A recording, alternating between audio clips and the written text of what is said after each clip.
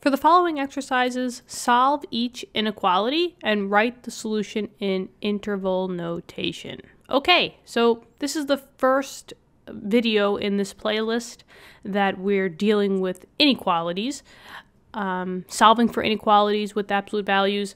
So we'll kind of take it a little bit slow, and then and then we'll pick up the pace. Okay, so the first one it says that the absolute value of x minus 2 has to be greater than 10. Now, remember, the alligator, right, is chomping on the bigger side. So I always like to envision that this is like an alligator mouth. You see, like, the teeth. So it's chomping, chomp, chomp on the bigger part. So since it's chomping this way, that means that this has to be bigger than this side. Just as a, just for reading these uh, signs. Okay, so the absolute value of x minus 2 has to be greater than 10. We have to basically still solve for x. But now there's a little bit of a different way that we're going to do this than um, if this was an equal 10. We've done tons of examples in which the absolute value of x minus 2 would equal 10. And what do we do? We separate the two. We're going to kind of do the same thing, but we need to set it up in an inequality versus an equal sign. So what we do is the first thing, we have to get the absolute value by itself on one side of the inequality. You could basically treat this as an equal sign, but it's still an inequality nonetheless. So we have that, right? I don't have like 2 times the absolute value, or I don't have, you know, 2 minus the absolute value of x minus 2. It's just the absolute value on this side. So we're ready to do the next step. Now, if it was an equal sign, we would split it up into 2. But now with an inequality, we need to introduce the negative 10 as well. Remember, it could equal 10, but there's a secret negative 10 that it could equal. So we have to put that somewhere in here. And how we do that is we put the same inequality on the other side of the absolute value. So it's on the right in this case. I'm going to put the same sign. You see how it's literally the same sign? I'm not going to switch it. I'm not going to go like this. It has to be the same sign as what was given here. So since this is a greater than, I have to put a greater than here. And now we're going to put the other number, the negative value, negative 10. This is a sure way in which you won't make any mistakes when you're breaking up your two equations. So now we have our two equations, and I'm going to rewrite them. So we have a negative 10 is greater than the absolute value of x minus 2.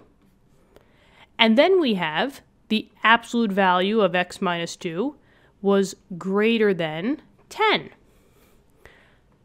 Do you see that? It's super, super, super important that you have it in this notation. I can't just, you know, put it on this side even though this would be correct, but some students maybe would make a mistake and put the wrong sign. This way, in which you set it up like this, and you literally copy as you see it, is a sure way that you won't make any mistakes. Now we're ready to do the math for both equations. So this is how you would set up your inequalities to make them into both equations, just like we did when it was an equal sign. Now remember, once you have your two equations, you can get rid of the absolute value sign. You don't need it anymore because you have your two separate equations. So let me just bring this closer. And now we're ready to solve. So let's do the top one first. We're still going to treat this kind of like an equal sign. So we want x by itself. It's being subtracted from 2. So do the opposite, plus 2 plus 2. The 2's will cancel, and you get negative 10 plus 2 is negative 8 is greater than x. That's our first equality or inequality. That's our first answer. That either negative 8 is greater than x or x just has to be less than negative 8. Now let's work on the second one. You still want to get x by itself. There's a minus 2 here, so I'm going to plus 2, plus 2. That cancels out. So x has to be greater than, the alligator's chomping on the x, 12. And there is your other answer. So we have our two x values. Now we just have to show it in interval notation. So this is going back to when we did interval notation. I believe we have a, a, a playlist for domain uh, and range. So check that out on the channel. It's on the front page, the home page of our channel. All right. So this will kind of just be like a review. So this is saying that x has to be less than negative 8. There's no stopping. It just has to be less than negative 8. So it can be less, less, less than, than negative 8, basically all the way until negative infinity. So that's the first part, right? You can go from a negative infinity all the way to a negative 8. Now, it is not including the negative 8. It is not less than or equal to, right? Or negative 8 is greater than or equal to x. So I have to put a bracket, uh, sorry, I have to put a parenthesis here. A bracket is when you're equal to, but if it's not, it is a parenthesis. And just know that a parenthesis is always with your infinities, whether it's negative infinity or positive infinity. All right, and since this isn't an equal, you have to put a uh, parenthesis with that one. Let's try this one. It says that x has to be greater than 12. So 12 is the point that you need to start at. Are we including 12? No, because it's not greater than or equal. So 12 with a parenthesis all the way to infinity because it just has to be greater than 12. There's no stopping it. And infinity is always with a parenthesis. Now we have our two answers, and either one could be correct, right? So it's called a union. We use the U to make the two of them together. Now, generally, you'll always put the negatives first, and then comes the positive infinity. So in this case, it would be negative infinity, comma, negative 8, parenthesis. U stands for union, which is like and, and then you have your 12, comma, infinity. So all parentheses here because you didn't have a equal sign, greater than or equal to. So that's the answer. Now, if you just wanted a quick um, rundown as to what, what the heck this actually means, if we drew a graph, right? And remember, an absolute value graph is always a V shape, whether it's a V or it was flipped. It's so it's like a mountain peak or it's like a, a V. So here are your two numbers, negative 8 and 12. So let's just say that negative 8 was over here, and let's just say that 12 was over here. At some point, the, the graph is going to basically cross these. And let's just say that this is the V, right? These are not included, so they are open circles on the x-intercept. And it's just showing you that, you know, all of the x values can either be all the way this way into negative infinity land, or we could have all the x values in the positive infinity land. Anything is fair game. The x's are just not going to be anywhere in the middle. That's basically what this is saying. Okay. So now, let's do the same thing for the second answer. So hold on, let me just bring this over here because this looks nice. Whee! Okay. So, in order for us to do that separation with our inequality, we need to get the absolute value by itself first. So this is 2 times the absolute value of v minus 7 minus 4, which is greater than or equal to now 42. So the first thing I'm going to do is I'm going to try to get that v by itself. I'm going to add 4 on both sides. That will cancel this out. So I get 2 times the absolute value of v minus 7 is greater than or equal to 42. I want to get rid of that 2, so I'm going to divide the whole thing by 2, and I do that on the same side over here. The 2 gets canceled out. And I now have the absolute value of v minus 7 is greater than or equal to 42 divided by 2 is 21. Okay, so we have this right end, and we only have the absolute value now. So now we just have to get the left end. Remember, you keep the same sign. So now it's going to be just like that. And instead of 21, it's going to be negative 21. And there are your two equations. We have this one, and then we have this one. You will put the absolute value for both equations. One is just going to be negative 21 on the left, and then the other one is going to be 21 on the right. So let's write it out. So we have negative 21 is greater than or equal to the absolute value of v minus 7. And then we have the absolute value of v minus 7 is greater than or equal to 21. And once you separate them, we can get rid of the absolute value signs you know, clean it up a little bit, and then we're just going to solve.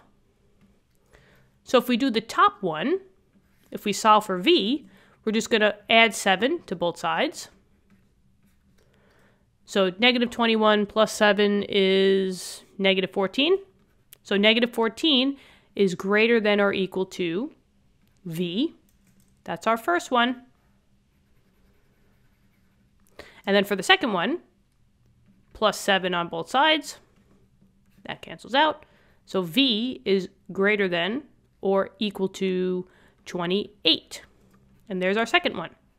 Now, we just have to put it into interval notation. And what I'm going to do is I'm just going to get rid of this part because I can put it up here. Okay, so let's see. Um, let's see. Negative 14 has to be greater than or equal to v. So v has to be less than negative 14. Less than or equal to. So basically, you could have anything from parenthesis negative infinity all the way to negative 14 because v is less than, if I'm reading it backwards, v just has to be less than or equal to negative 14. So it could be negative infinity. But now since I'm including 14, I put a bracket. u. Now let's work on the next one. v is greater than or equal to 28. Since I'm including 28, it's a bracket. And it could be greater than so it could be anywhere to positive infinity.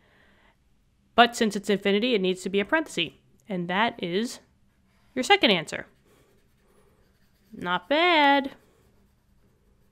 Okay, last one. This one is already nice and pretty for us because it's everything on the left-hand side is trapped in between that absolute value. So they're saying that the absolute value of 3x minus 4 has to just be less than or equal to 8. But now we know that we just need to put the same sign and put a negative 8. And now we have our two equations. So let's write them out. Negative 8 is less than or equal to the absolute value of 3x minus 4. And then the absolute value of 3x minus 4 is less than or equal to 8.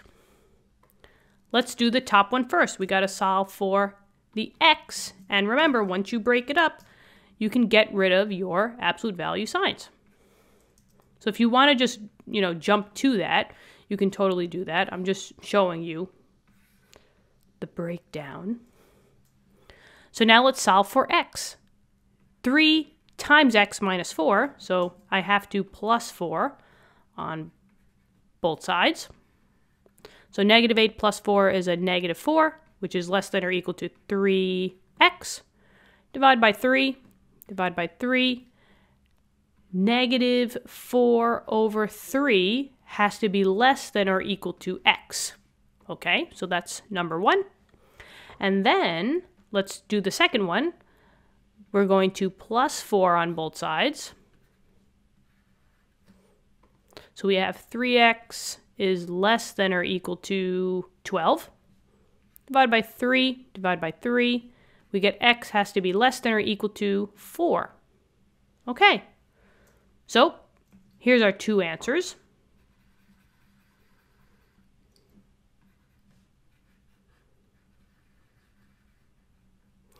So let's see here.